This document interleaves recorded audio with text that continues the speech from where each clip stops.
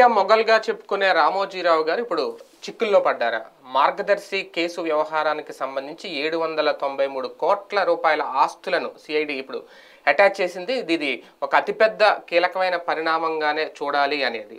ఆ, అరుణ్ కుమార్ గారు వేసిన కేసుతో మొత్తం ఇప్పుడు ఏం జరగబోతుంది? భవిష్యత్తులో అసలు ఈనాడు రామోజీరావు గారి సంస్థలు చాలానే ఉన్నాయి.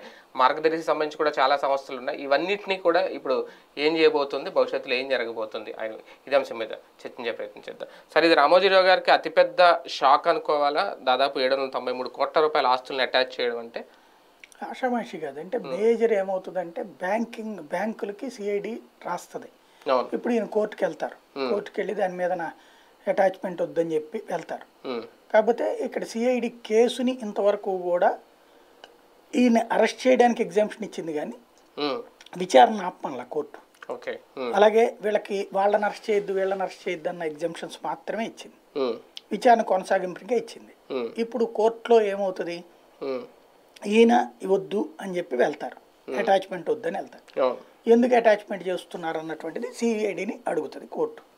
సిఐడి ఏం చెప్పుద్ది ఇదిగోండి ఈ నిబంధనల ప్రకారం యాక్చువల్గా డిపాజిట్లు వసూలు చేయకూడదు. ఉమ్, చిట్స్కి సంబంధించి వీళ్ళు డిపాజిట్లు వసూలు చేస్తున్నారంట.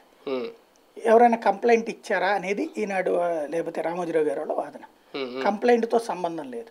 రోడ్డు మీద కూడా మనం ట్రాఫిక్ వైలేట్ చేస్తుంటే అక్కడ కంప్లైంట్ ఎవడేవాడు నిబంధన అతిక్రమిస్తున్నామనినే మన మీద కేసు పెడతారు. అలాగే నిబంధన పాటించాల్సిన బాధ్యత సదరు సంస్థది. అది ఇర్రెగ్యులర్గా ప్రవర్తిస్తే యాక్షన్ తీసుకోవడానికే ప్రభుత్వం ఉంది. అంతేగాని వాళ్ళు ఎవడు కంప్లైంట్ ఇవ్వలేదు కాబట్టి మర్డర్ చేసినప్పుడు కూడా ఎవరు కంప్లైంట్ ఇవ్వకపోతే మర్డర్ ఓకే అవుతుందా? కదా. కాదు. అదే పాయింట్ వస్తుంది. అప్పుడు మీరు అసలు డిపాజిట్లు తీసుకున్నారా లేదా అన్నది అడుగుతుంది. సమాధానం చెప్పాలి. డిపాజిట్లు తీసుకున్నాము అన్నది అనుకోండి. రాంగ్ కాదు అది డిపాజిట్లు కాదు. వాళ్ళు సరైన షూరిటీలు చూపెట్టకపోవడం వలన వాటిని మేము డిపాజిట్గా అట్టి పెట్టుకున్నాం అన్నారు అనుకోండి అది నిబంధన ఎవరిచ్చారు వీళ్ళకి? అర్హత. అనేది అవుతుంది. లేదు అప్పుడు నిబంధనలకు విరుద్ధంగా డిపాజిట్లు వసూలు చేస్తున్నారు అన్నటువంటి పాయింట్ని వీళ్ళు ఇక్కడ ఆల్రెడీ ఆధారాలు చూపించారు ఇంతకుముందే. చిట్స్కి సంబంధించినటువంటి దాంట్లో. ఇప్పుడు దానికి ఏమనాలి? లేదు మేము ఫస్ట్ నుంచి కూడా నిజాయితీతో కూడిన వ్యాపారం అని వీళ్ళు వాదిస్తారు. వీళ్ళు నిజాయితీ కాదండి. ఇంతకుముందు ఫైనాన్స్ అనే సంస్థను పెట్టారు. అది హిందూ అవిభాజ్య సంస్థ అన్నారు. తర్వాత ఎప్పుడైతే ఆర్బీఐ గైడ్ లైన్స్కి విరుద్ధంగా ఉందంటే అలాగానే మూసేశారు అని చెప్తారు. అదేంటి ఆధారం అంటే సుప్రీంకోర్టులో ఉన్న కేసు సాక్ష్యాలు అక్కడ ప్రొడ్యూస్ చేస్తారు. ప్రొడ్యూస్ చేసినప్పుడు సుప్రీంకోర్టు ఇంకా తేల్చలేదు కదా అని వీళ్ళు వాదించాలి. తేల్చలేదు అక్కడే అడుగుతున్నటువంటిదే డిపాజిట్లకు సంబంధించి రిటర్న్ పే చేసినటువంటి లెక్కలు అడుగుతున్నారు. అందులోనే అందరికి రీపే చేసామని చెప్పిన దాంట్లోనే కొంత అమౌంట్. అవ్వలేదు అదే ఇక్కడ అని వీళ్ళు చెప్తారు. ఉమ్, బేసిక్గా ఇట్లా ఇన్ని మతలబులు ఉన్నాయి అంటే ఇప్పుడు అటాచ్మెంట్ వద్దు అంటే నిబంధనలకు అనుగుణంగానే మేము పనిచేసామని చెప్పాలి. ఆ చేసినట్టుగా ఇక్కడ ఆధారం చూపించాలి. ఇక్కడ నిబంధనల ప్రకారం అయితే గనక ఈ స్టేట్లో జరిగే యాక్టివిటీకి ఈ స్టేట్లోనే రీజన్ రెస్పాన్సిబిలిటీ ఉండాలి. చెక్ పవర్ కానీ ఇక్కడ సదరు బ్యాంకులకి సంబంధించి సదరు మార్గదర్శికి సంబంధించి ఎవరు చెక్ పవర్ ఉండాలి అన్నటువంటిది ఇక్కడే నిబంధన ఉండాలి. అంతేగాని అక్కడికి వెళ్ళి కుదరదు. ఇప్పుడు అది ఇక్కడి నుంచి పెట్టుకోవడానికి సిద్ధపడాలి. ఇంకోటి వీళ్ళు ఏం చేస్తారు మేము దీంతో చిట్స్ వ్యాపారమే మానేసాం ఆంధ్రప్రదేశ్లో అంటారు. అంటే తప్పు చేయనోడు ఎందుకు మానేశాడు అన్నది వస్తుంది. ఇవన్నీ లెక్కలు వస్తాయి. కానీ నిజంగా వ్యాపారం మానేసేమని చెప్పిన ఈ స్టేట్ వరకు మొత్తం ముప్పై ఏడు శాఖల్లో రన్ చేస్తున్నారంటే దాదాపు పంతొమ్మిది వందల ఎనభై తొమ్మిది ఎన్నో ఉన్నాయంట చిట్స్ గ్రూపులు. వాళ్ళందరికీ కూడా ఇప్పుడు డబ్బులు ఇవ్వలేని పరిస్థితి వస్తుంది. నిజంగా ఈ ఆస్తులన్నీ అటాచ్ చేస్తే ఇప్పుడు వాళ్ళందరికీ థ్రెట్ కాదా? అంటే ఖాతాదారులు ఎవరో కంప్లైంట్ చేయలేదు. కానీ ఇప్పుడు భయపడే పరిస్థితి రాదా? ఒక అగ్రి గోల్డ్ ఇలాంటి ఎలా అయ్యిందో? మళ్ళీ ఆ సిచ్యువేషన్ కనిపించదా? అప్పుడు రాఘవరావు గారి గొప్పతనం ఏముంది? ఆయనకి వేల కోట్ల అధిపతి. వేల కోట్ల అధిపతి తీర్చలేడా? ఏడు వందల తొంభై మూడు కోట్లకే ఆగిపోతాడా? ఇప్పుడు అది ప్రభుత్వం తీరుస్తానంటది రేపు పొద్దున. అంతే కదా? ఆ డబ్బులు అటాచ్ చేసినప్పుడు ఆ డబ్బులు తానిస్తానంటది. అప్పుడు వినియోగదారు నష్టపోడు. అదే రామోజీరావు దగ్గర అయితే కనుక నష్టం అంటది. ఇక్కడ విషయం ఏంటంటే రొటేషన్ నుంచి డబ్బులు యువతలకు లాగారు. ఇది పెద్ద సంక్షోభం. రామోజీరావు గారికి సంక్షోభం సృష్టించడమే ఉద్దేశం కూడా. ఎందుకని? ఇప్పుడు ఈ డబ్బులు ఒక దాంట్లో నుంచి ఒక దానికి ఫ్లోట్ అవుతున్నాయి. తద్వారా రన్నింగ్ అయిపోతుంది బిజినెస్ చిట్స్లో వచ్చిన డబ్బులు తీసుకెళ్ళి మ్యూచువల్ ఫండ్స్లో పెట్టుబడి పెడుతున్నారు. లేదు ఇంకో పక్కన తీసుకెళ్ళి వాళ్ళ వాళ్ళ సంస్థల్లోకి పెట్టుబడి కింద కన్వర్ట్ చేసుకున్నారు. కార్పొరేట్ కంపెనీల పేరు. అది ఈనాడుకి కొంత లేకపోతే ఈటీవీకి కొంత ఇట్లాంటి ఇవి తీసుకుంటున్నప్పుడు అవి రూల్ ప్రకారం తీసుకోకూడదు. చిట్స్కి సంబంధించి ఏముంటుందంటే ప్రతి ఒక్కళ్ళకి కూడా ప్రతి సంస్థకి కూడా. ఒక డిపాజిట్ అమౌంట్ ఒక అకౌంట్ ఉంటుంది. ఆ అకౌంట్లోనే ఆ డబ్బులు వేయాలి. పూల్ అకౌంట్ పూల్ కిందలోనే వేయాలి. అది వేరేగా వేయడానికి లేదు. ఈ పూల్ అకౌంట్లు వీళ్ళు ఏం చేశారు? అవి కూడా పట్టుకొచ్చేసారు. ఈటీవీ వీటిని కూడా. వాటిని టర్న్ చేస్తున్నారు. పూల్ అకౌంట్లో అది చిట్టు కోసం పెట్టుకునే పూల్ తప్పించి వేరే వాటికి పూల్ కాదు అది. కానీ వీళ్ళన్నింటికి మళ్ళించుకున్నారు మళ్ళించుకుంటున్నారు దాన్ని అట్లా కాకుండా ఆపుకోగలగాలి. అది చెప్పాలి. కానీ రేపు కోర్టులో ఎవరెవరికి ఎలా ఇచ్చారు డబ్బులు అనేది ఆల్రెడీ ఉండవల్లి అరుణ్ కుమార్ గారు అడిగిన ప్రశ్న. దానికి సమాధానం చెప్పడానికి రెడీగా ఉన్నారా? అంటే ఉండవల్లి అరుణ్ కుమార్ గారి కేసుకి దీనికి సంబంధం లేదు. ఉండవల్లి అరుణ్ కుమార్ గారు వేసింది ఫైనాన్స్ మీద కేసు. అవును. ఫైనాన్స్ దానికి సంబంధించి అక్కడ తెలంగాణ ప్రభుత్వం ఇన్ప్లీడ్ అవ్వలేదు. కేంద్ర ప్రభుత్వాన్ని కూడా అడిగింది. సుప్రీంకోర్టు. వాళ్ళ ఏది వాళ్ళ నుంచి కూడా నివేదికలు రావాల్సి ఉంది అది. ఇది వచ్చేటప్పటికి చిట్స్ సపరేట్ కేసు మళ్ళీ. ఇది మార్గదర్శి చిట్స్ అనేటువంటిది అంటే దానికి అనుబంధంగా ఒక తెలివైన ఎత్తేసారు దాంట్లో మీరు ఎందుకు వెరిఫై చేయలేదని అడిగింది అప్పుడు. ప్రభుత్వం మమ్మల్ని రానివ్వలేదంటే ఎవరు రానియంది ఎవరని అడిగింది మేము ఇప్పుడు చేస్తామన్నారు. ఇంత ముందున్న ప్రభుత్వాలు చేయలేదు.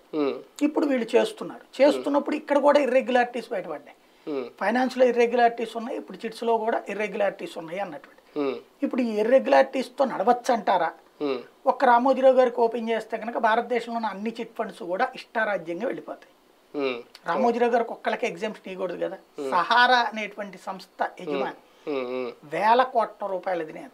ఎయిర్వేస్ ఇవన్నీ కూడా. కానీ ఈ నిబంధనలకు విరుద్ధంగా డిపాజిట్లను తీసుకెళ్ళి పెడుతున్నారన్న పాయింట్ మీదనే అతను అరెస్ట్ చేసి జైల్లో పెట్టి. ఆ డబ్బులన్నిటిది ఇప్పటికీ గొడవలో ఉంది. ఆ సంస్థ కూడా క్లోజ్ అయిపోయింది. క్లోజ్ అయిపోయింది. సహారా అనేటువంటిది ఇంటింటికి వచ్చి మరి కలెక్ట్ చేసే కలెక్ట్ చేసేవారు అవును. దానికే ఇట్లా అయింది. డబ్బులు ఎక్కడా పోలా వాళ్ళకి? ఆ డబ్బులన్నీ అక్కడే ఉన్నాయి ఇంకా డిపాజిట్ రూపంలో. వివిధ వాటి ఇట్లా పెట్టుబడులు పెట్టి. కానీ నిబంధనలకు విరుద్ధంగా డబ్బులు మళ్ళించారన్న కారణంగానే అంత జరిగింది. అతన్ని కనీసం జైలు నుంచి బయటకు కూడా పోనీలా. ఎవరికన్నా అమ్ముకోవాలంటే జైల్లోకే తెచ్చుకొచ్చుకుని అమ్ముకోవడానికి పర్మిషన్ అన్నారు అంత స్థాయికి తెచ్చారు అక్కడ. అప్పుడు జైల్లో కూర్చున్నాడు అమ్ముతుంటే ఎవడైనా ఎక్కువ కొంటాడా తక్కువ కొంటాడా? ఆయన గాడికి అమ్ముకోవాల్సి వస్తుంది. ఆ స్థాయి తీసుకొచ్చారు. ఇక్కడ రామోజీరావు గారికి అట్లా అంటే రేపు పొద్దున సహారా ఆయన ఈయన దగ్గర పాఠం నేర్చుకుంటారా? సహారా వాళ్ళ దగ్గర ఈయన పాఠం నేర్చుకుంటారో చూడాలి. ఎందుకంటే నార్త్ ఇండియా మొత్తం ఒక ఊపు ఊపినటువంటి సహారా. చివరికి వేల కోట్ల రూపాయలు బిజినెస్ చేసిన సహారా యజమాని జైల్లో ఉంటూ నరకం అనుభవించాడు. ఏంటి? వ్యాపారం అంతా పర్ఫెక్ట్గానే ఉంది. ఎక్కడా తేడా జరగల. కానీ నిబంధనలకు విరుద్ధం అన్నటువంటి కారణం. ఉమ్, ఇప్పుడు రామోజీరావు గారికి ఎగ్జామ్షన్ ఇస్తారా? రామోజీరావు గారికి ఎగ్జామ్షన్ ఇస్తే రేపు పొద్దున్న సహారా ఆయన కూడా ఈ తీర్పు తీసుకుని చక్కగా చేసుకోవచ్చు.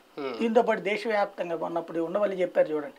ఆయనకి ఎప్పుడు తెలిసింది? సుప్రీంకోర్టు దగ్గరికి వెళ్ళినప్పుడు ఎవరో ఇదిగో మీ కేసు ఆధారంగా నేను ఇది కొట్టేపించుకుంటున్నాను అన్నప్పుడు తెలిసింది.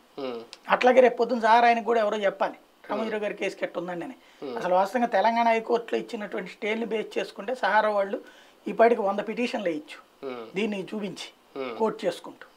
కానీ ఇందులో కుట్రపూరితమైన నేరానికి కూడా పాల్పడ్డారు అంటూ సిఐడి అందులో పేర్కొనడం. అంటే సడన్గా ఆస్తులు అటాచ్ చేసే నిర్ణయం కూడా చాలా సడన్గా తీసుకుంది అనేది. అంటే ఎందుకు? అంటే కుట్రపూరితంగా అనేటువంటి పదం ఆటోమేటిక్గా వస్తుంది. ఇప్పుడు ఒకటేంటంటే ఇందులో ప్రతీకార ఇది కూడా ఉంటుంది. A one A one A one అని రాశారు. ఇప్పుడు ఏ వన్ రామోజీరావు గౌడ అయ్యారు. తనని ఏ వన్ ఉన్న వాళ్ళందరినీ ఏ వన్ చేశాడు జగన్. రామోజీరావు ఏ వన్ అయ్యాడు చంద్రబాబు ఏ వన్ అయ్యాడు ఉమ్, తర్వాత ఆయన వేరే నారాయణ ఏ వన్ అయ్యాడు ఉమ్, ఇట్లాగా ఈయన రవిరామకృష్ణరాజుని ఏ వన్ అని చేశాడు. ఈయన ఏ వన్ ఉన్న వాళ్ళందరినీ ఏ వన్ అని చేశాడు ఆయన. రెండవది వచ్చేటప్పటికి ఈయన వ్యాపారాల్ని ఆస్తుల్ని అటాచ్ చేయించారు ఈయన వ్యాపారాన్ని శాంత స్ట్రక్ చేసే ప్రయత్నం చేశారు. ఈయన వ్యాపారాలన్నిటిలో పెట్టిన పెట్టుబడులు అది కూడా వేరే వాడు పెట్టిన పెట్టుబడులే నేరం కింద చూపించారు. ఇప్పుడు వాళ్ళు ఏం చేస్తున్నారు? డబ్బుల్ని జనం నుంచి వచ్చిన వాటినే మళ్ళీ ఇస్తున్నారు ఇక్కడ జగన్ దాని వల్ల జనం ఎవరికి నష్టం జరగల. పెట్టుబడి పెట్టినోడు అవతలోడు వ్యాపారస్తుడే యువతల పెట్టుబడి పొందినోడు వ్యాపారస్తుడే. ఆ సంస్థలు ఏమీ మూతపడలేదు కదా? భారతీయ సిమెంట్ దర్జాగానే సాక్షి దర్జాగానే ఇతన్ని ఆర్థికంగా దిగ్బంధించేశారు. అయినా నడుపుకొచ్చాడు. ఇప్పుడు వాళ్ళకి పరీక్ష పెడుతున్నాడు ఇతను. తనని అణువణువున ఆర్థికంగా దిగ్బంధించే ప్రయత్నం చేసినటువంటి వ్యక్తి ఇప్పుడు తనేం చేస్తాడనేది చూస్తున్నాడు అక్కడ. అంటే ఇందులో రాజకీయ కక్ష ఎంతవరకు చూడొచ్చు? రాజకీయ కక్షే కదా ఇక్కడ బేసిక్గా. జగన్ని నాశనం చేయాలని రామోజీ కక్ష. దానికి కారణం చంద్రబాబు గారు అధికారంలోకి రావాలంటే జగన్ అడ్డు వస్తాడని.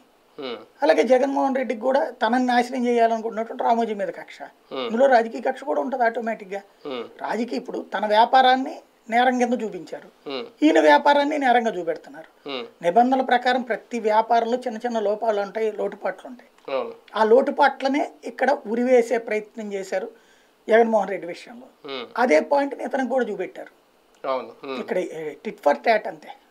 అంటే ఒక మీడియా మొగల్ని టచ్ చేయడం ద్వారా జగన్ గారు ఏ సంకేతం ఇచ్చారు ప్రజలకి లేదంటే ప్రతిపక్షాలకి? నేను మా నాన్న బిడ్డని కాదు మా నాన్నకైనంటే కూడా ముంచినోడిని అని చెప్తున్నాడు. వాళ్ళ నాన్న పాపం చూసి చూడనట్టు పోయాడు. ఆయన్ని ఇంతే పెట్టారు రాజశేఖర రెడ్డిని.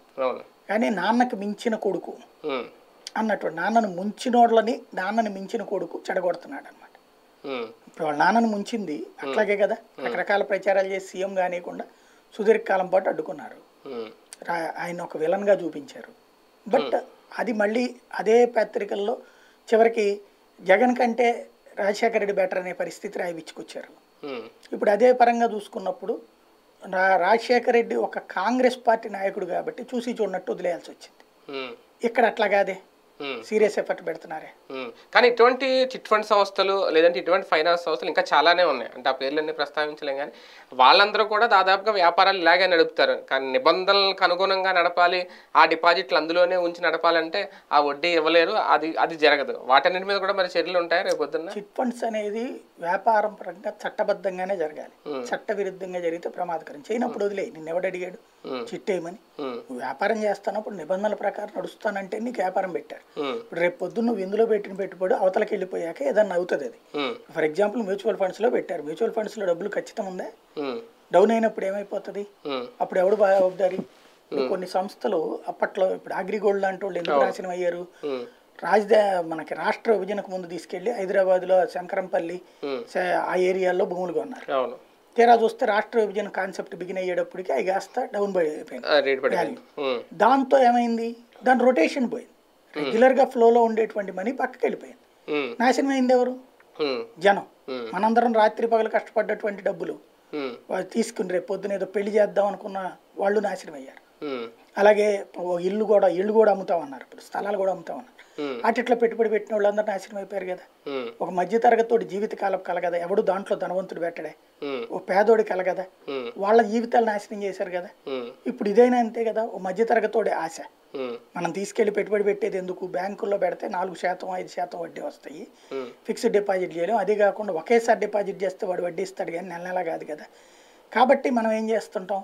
ఇంతకంటే ఒక రెండు రూపాయలు ఎక్కువ వస్తుంది. మనం ఫిక్స్డ్ డిపాజిట్ కడితే ఎక్కడైనా మంచి వడ్డీనే వస్తుంది. ఇది ఆర్డీ కడితే. కానీ మనం ఐదారేళ్ళు కాకుండా ఇదైతే కనుక రెండేళ్ళు యాభై నెలలు మ్యాక్సిమం ఉండేది. వంద నెలలు అయితే ఉండవు కదా చిట్లు. యాభై నెలల చిట్లు ఉంటుంటాయి మ్యాక్సిమం ఉమ్, ఇరవై ఐదు నెలలు యాభై నెలలు చిట్లు ఉంటాయి. ఈ యాభై నెలల్లో అంటే దగ్గర దగ్గరగా నాలుగేళ్ళలో మనకి డబ్బులు వస్తాయి. ప్లస్ ఈ రూపాయిన్నర రెండు రూపాయలు వడ్డీ వస్తుందో అని పెడతారు. అంతే కదా? ఆ రేంజ్లో వడ్డీ వస్తుంది అన్నట్టు. అలాగ నమ్ముకున్నటువంటి వాడిని నువ్వు నిబంధనలకు విరుద్ధంగా తీసుకెళ్ళి నువ్వు దాంతో వ్యాపారం చేసుకుని. అది వ్యాపారం తేడా వస్తే వీడిని ముంచేస్తే. ఇప్పుడు రోడ్డు మీదన ఒక మహిళ ఒక మగాడో ఎక్కడో సెంటర్లలో మన బస్తీల్లో చిట్లు వేస్తుంటారు ఉమ్, అందరు కలిసి డబ్బులని వేస్తుంటాం. వాళ్ళల్లో ఒక్కడ ఎగ్గొడితే వీళ్ళు ఇబ్బంది పడతారు. ఇద్దరు ముగ్గురు ఎగ్గొడితే వీళ్ళు ఐపీ పెట్టేసిపోతారు. అప్పుడు ఏం దొరుకుతుంది? ఇళ్ళలో తపేళాలను అదే. చెంబులు తెప్పించి పాపం అంతకాలం పెట్టుకున్నాడు. వాడిది అక్కడ ఏం చేస్తున్నాం? దొరికితే తీసుకెళ్ళి బొక్కలో దోసి మక్కలు ఎరగొడుతున్నాం అప్పటిదాకా కట్టినోడికేం డబ్బులు రావు. తీసుకున్నోడు హ్యాపీ. చిట్టు పాడుకున్నాడు. ఇక్కడ అంతే అవుతుంది. రేపొద్దున. అక్కడ వాళ్ళనేమో కఠినంగా జైళ్ళలో పడేస్తున్నాం ఉమ్, వీళ్ళనేమో నిబంధనలకి వీళ్ళు పెద్దోళ్ళు కాబట్టి అని ఎట్లా వదలాలి? నువ్వు వ్యాపారం చేయాలనుకుంటూ బ్యాంక్ అన్నప్పుడు బ్యాంకే చేయి. చిట్టు అన్నప్పుడు చిట్టే చేయి. ఇష్టం వచ్చినట్టు మార్చుకోకూడదు కదా. ఇప్పుడు ఏడు వందల తొంభై మూడు కోట్లు అంటే మార్గదర్శికి సంబంధించిన ఆస్తులు మాత్రమే అటాచ్ చేశారా? మీడియా మొఘల్ సామ్రాజ్యాన్ని మొత్తం కుప్పగూల్చే ప్రయత్నం జరుగుతుంది? ఇందులో నాకు కనిపిస్తున్నది ఏంటంటే ఏడు వందల తొంభై మూడు కోట్లు మార్గదర్శి చిట్స్ డబ్బులు. ఇప్పుడు ఏమవుతున్నదంటే ఇందులో డబ్బులు అటుకి రొటేట్ చేస్తూ ఉంటారు వీళ్ళు. ఆ రొటేషన్ ఆగిపోతుంది. ఓ రకంగా చెప్పాలంటే సైకిల్ చైన్ బండికి చైన్ ద్వారా నడుస్తూ ఉంటుంది. ఉమ్, చైన్లో లింక్ కట్ అయితే ఏమవుతుంది? మొత్తం దిగుతుంది. ఇప్పుడు ఆ చైన్ తెంచే ప్రయత్నమే జగన్కి ఇల్లు చేశారు. జగన్ వీళ్ళకి చేస్తున్నాడు. అంటే ఆయన చాలా పెద్ద సామ్రాజ్యం కదా. ఈ మూడు వందల తొంభై మూడు కోట్లు ఏడు వందల తొంభై మూడు కోట్లతోనే కట్ అయిపోద్దా అవ్వదు. నాకు తెలిసి ఆయన దగ్గర కోట్ల కోట్ల ఆస్తులు ఉన్నాయి. అవును. ఇప్పుడు అది ఇయ్యాల? కాకపోతే ఇక్కడే ఒక డౌట్ ఏంటంటే అంత ఆస్తి ఉన్నటువంటి రిలయన్స్ వాళ్ళకి ఎందుకు అమ్మేశాడు ఛానల్ అయ్యాను ఇంతకుముందు? అవును. అప్పుడు మార్గదర్శి ఫైనాన్స్ అప్పుడు. డబ్బులు తీసుకెళ్ళి రిలయన్స్కి అమ్మాడు అమ్మాడు టీవీ అవును. ప్లస్ సోమాజీ కూడా అది ఇవన్నీ రిలయన్స్కి ఉమ్, ఆ డబ్బులన్నీ తోనే ఆ రోజున తీర్చగలిగారు. మరి అంత హయ్యెస్ట్ ఉంటే రెండున్నర వేల కోట్లు అప్పుడు. రెండున్నర వేల కోట్లకి అమ్మాల్సి వచ్చింది. ఇప్పుడు ఏడు వందల తొంభై మూడు కోట్లు. అంటే ఇక్కడ ఏంటంటే రొటేషన్ మనీ. ఇక్కడ రొటేషన్ మనీ స్ట్రక్ అయినప్పుడు డబ్బులు ఉండకుండా ఉండవు. ఆస్తి ఉంటుంది ఇప్పుడు ఏం చేయాలా? ఆస్తులు అమ్మి ఇవ్వాలి. అవును అదే కదా. ఆస్తులు అమ్మి ఇవ్వాల్సి ఉంది. ఆస్తి పరంగా అయితే ఆయనకు రెండు మూడు వేల కోట్ల ఆస్తి తక్కువే ఉండదు. మినిమం నాకు తెలుసు పదివేల కోట్ల ఆస్తి ఉంటుంది ఒక రామోజీ ఫిలిం సిటీ ఎకరం ఒక కోటి రూపాయలు వేసుకోండి. అక్కడ. ఆ లెక్కనే చూసుకుంటారు కదా. బేసిక్గా అయితే కనుక అప్పుడు ఏమవుతుంది? కాకపోతే అవి అమ్మాలా? లేదా తాకట్టు పెట్టాలి.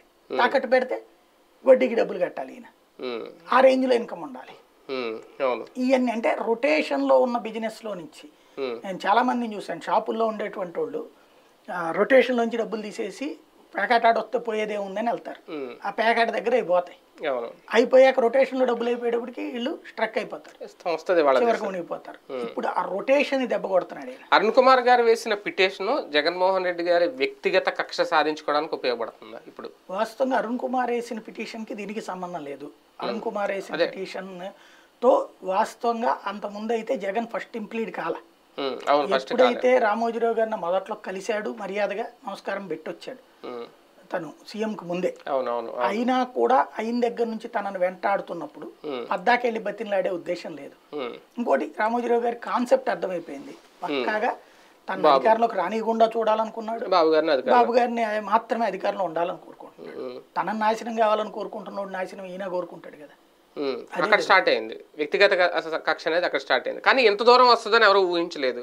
ఇంత ఇంత ఆస్తులు అటాచ్ చేసే వరకు ఆయన టచ్ చేస్తారని ఎవరు ఊహించలేదు. ఆ విషయంలో వైఎస్ఆర్ కాంగ్రెస్ పార్టీ వాళ్ళు ఏమనుకుంటారు? జగన్ మగాడ్రా బాబు అంటారు. అనుకుంటారు ఖచ్చితంగా. అదే వీళ్ళందరూ రాక్షసుడ్రా బాబు అంటారు. ఒక పెద్ద ఆయన ఇబ్బంది పెడుతున్నాడు.